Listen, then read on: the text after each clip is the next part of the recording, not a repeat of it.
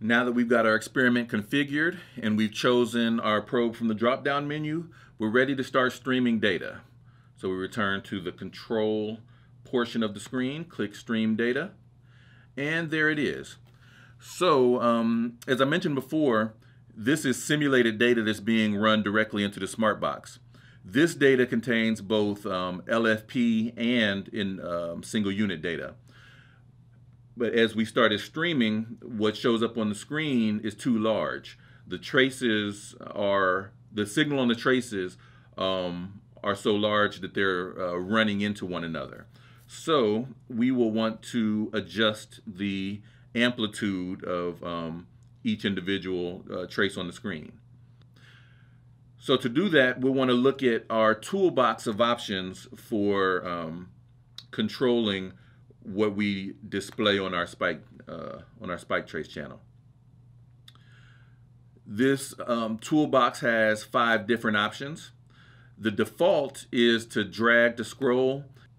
That lets us move our data up and down to access um, all of the channels that are being streamed at a given time.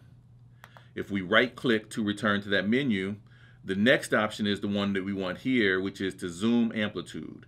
We left click to choose the tool. Then we left click and drag.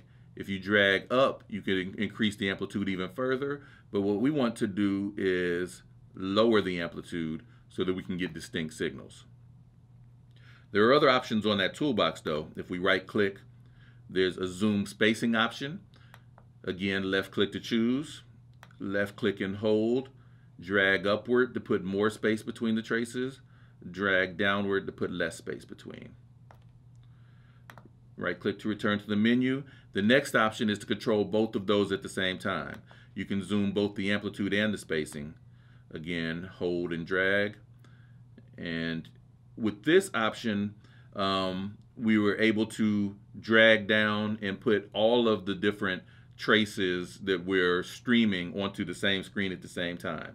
You see down here, these are all 32 channels. This option is available no matter how many um, uh, channels that we're streaming with up to the 256 uh, channel limit of the SmartBox. So if we were using multiple head stages with a high enough channel count that we reached our 256 channel limit, we would be able to still uh, uh, choose this option and get all 256 channels on the screen simultaneously the question is essentially how useful is being able to see all 256 channels or 128 or 64, however many channels that you're displaying. Um, how useful is it to you to be able to look at all of the channels at once versus a subset of the channels?